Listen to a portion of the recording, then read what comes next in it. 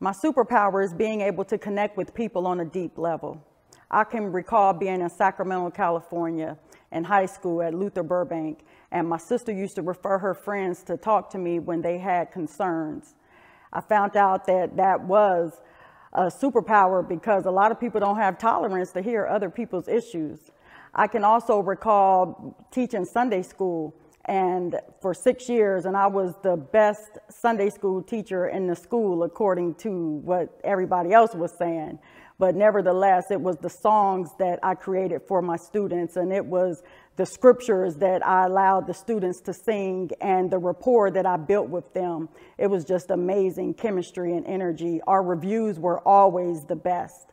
I can also recall being at the Sacramento Urban League, and I was a little superstar there. But I can recall speaking at a graduation, and there was a young lady there that felt inspired by my story. I can recall her instructors used to call me and say that she was having issues and concerns, and I was the only one that she would talk to. And I would leave my job and go and talk to this young lady. I started mentoring her, and it was an amazing experience because I was being a life coach, and I didn't even never hear, I never even heard of a life coach.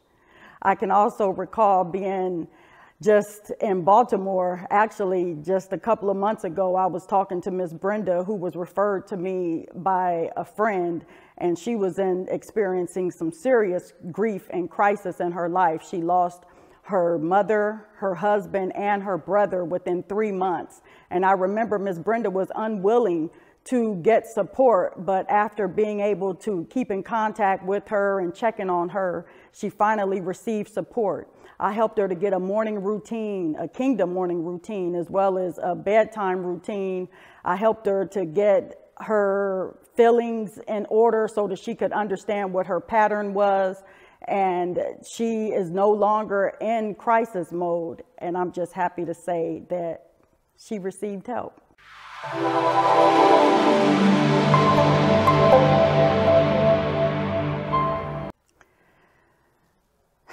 Sacramento, California, 2009. I'm in ICU with my best friend and her family.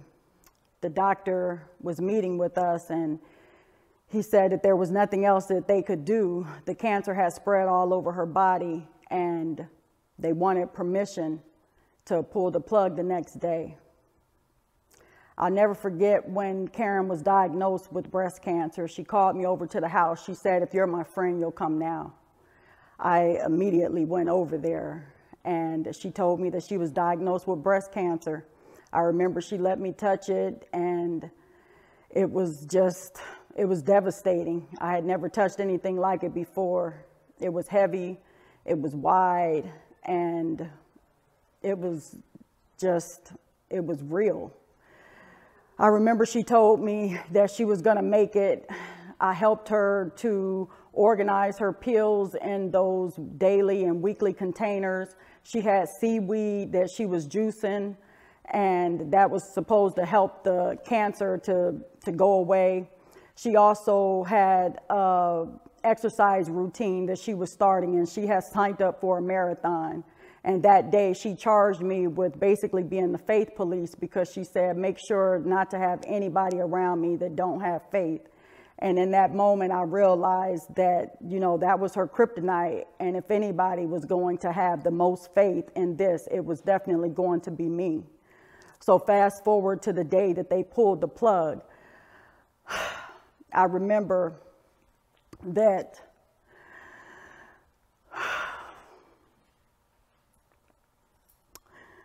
I remember the scripture that says that if you have mustard seed faith that you can move a mountain. And I had mountain seed faith. And when they pulled the plug, I remember for a minute she was still breathing on her own. And I still had faith that she was going to make it. And then all of a sudden, you know, it just flatlined. And in that moment that she flatlined, I felt like God punked me because I have faith like until the end.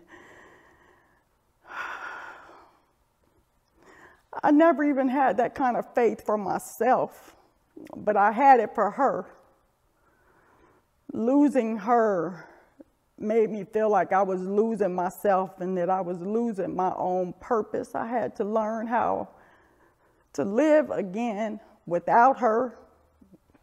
I had to just learn myself again. I found out 10 years later in therapy that I was angry at God, and that would explain why I went to church and I didn't feel anything. I was numb. I went to church out of religion and not relationship.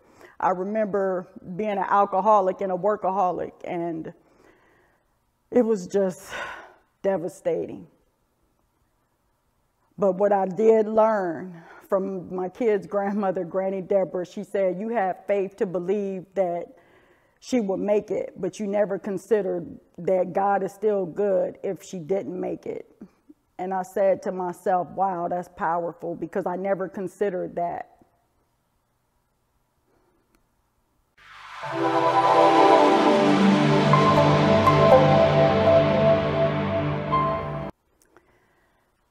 At the end of my two year program in inner healing and life coach school, Iyanla Vanzant, my teacher, she had asked all of the students, according to how we started the program, how did we reach our goals? And I remember listening to every lady go around the room and just express, you know, how they had reached their goals. And I can remember the closer she got to me, the more I felt like I had failed.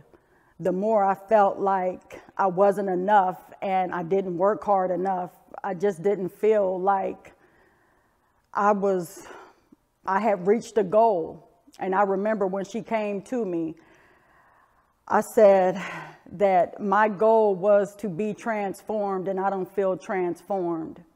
And she looked at me and she was curious, but she was optimistic at the same time. But she told me, she said, I wonder who you will become when you realize that nothing is wrong with you.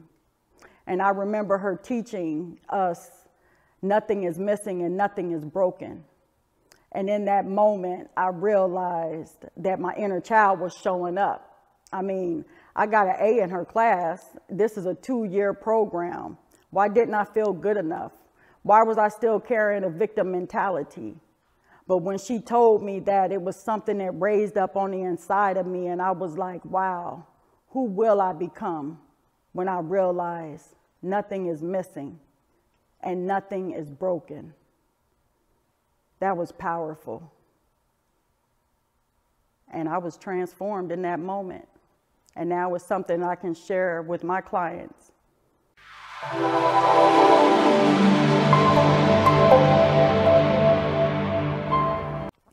If I could go back and give my 21 year old self advice, first I would tell her to finish college. Second, I would tell her to follow God's purpose and third, I would tell her to never give up. I'll never forget that when I first graduated from high school, I had went straight to college, but I dropped out the first year. I dropped out because I had a baby. I was an emancipated minor. I had my own apartment, and I decided that it was more important for me to work than it was for me to go to college. So I dropped out. I would tell myself to follow God's purpose and plan for my life because what I realized as an adult is a scripture that I had never seen before, and it said that many are the plans in a man's heart, but it is the Lord's purpose that prevails. And I realized that the further I got away from God's plan, the further I got away from my purpose. And third, I would tell myself to never give up because what I realize is that through everything that I've been through, from domestic violence to being a single mom with three kids to not going back to college until I was 27 and staying in college for actually 20 years from 27 to 47, I would say that it's important for you to understand God's will for your life. The safest place in the world is in the will of God.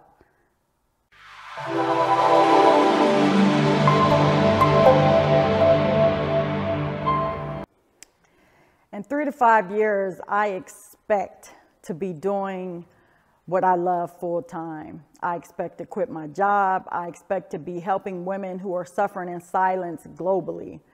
I expect to be expanding Begin Again Academy and opening a resource center in a physical local location so that people have somewhere to go and get mental health services.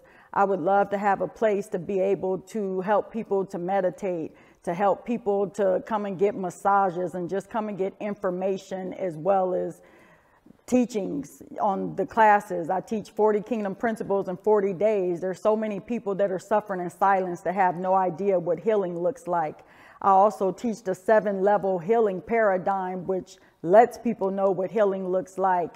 And in a world where there's so much going on and so many people not receiving services and support, it's time to be able to help people who are suffering in silence, making it easy and accessible to people. I also have this big fantasy about being a, a super life coach, like super nanny. She goes into people's houses for like a week and helps parents to give customized routines for their families. But I would like to go into celebrities' homes and help to give them a morning routine, a bedtime routine, help them to pray, help, help them to be able to process their feelings one on one, also to be able to, you know, meditate. A lot of people just need support meditating and visualizing and just being able to get in the routine of what healing looks like so that they can do it on their own after I leave. I could also see myself finishing my speaking certification program and being able to speak to people all over the world, making a living off of speaking and teaching and facilitating workshops, seminars, and conferences.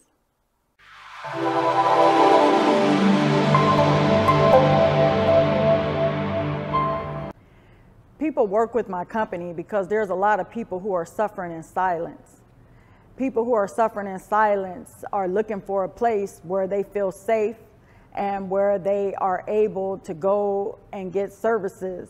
People are overwhelmed. People are experiencing trauma. There's so much grief that's been going on in the world. A lot of people just haven't been listened to and not even understood.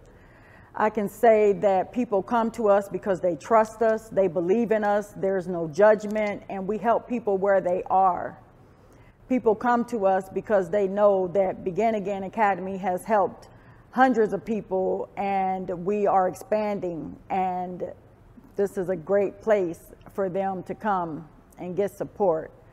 I can say that I remember helping a special woman and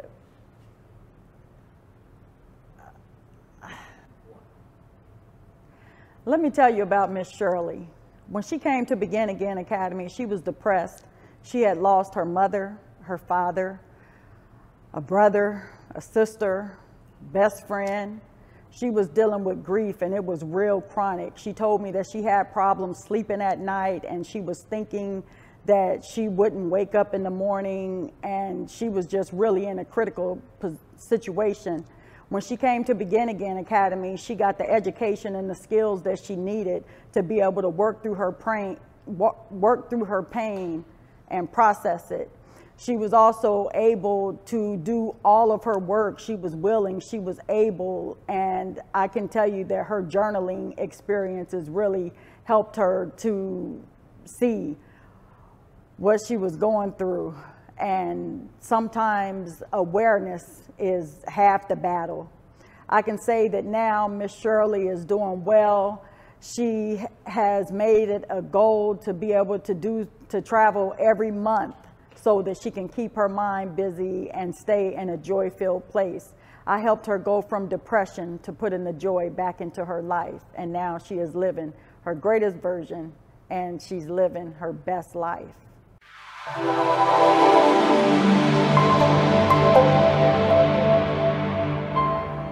What I enjoy most about working with Media Expertzy is the professionalism. I enjoy the people. They are very high spirited and fun to work with, easy to work with, good smiling faces, good energy, good rapport. And I can't say that I have worked with anybody that has been able to give me such a pristine experience. A lot of clarity, a lot of information as far as preparation is concerned. And I can say that this was just a joy filled experience, and I'm happy to be here and can't wait to come back.